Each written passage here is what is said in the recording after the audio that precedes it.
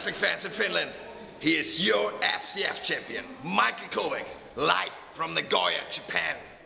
May 7th, Helsinki, domination.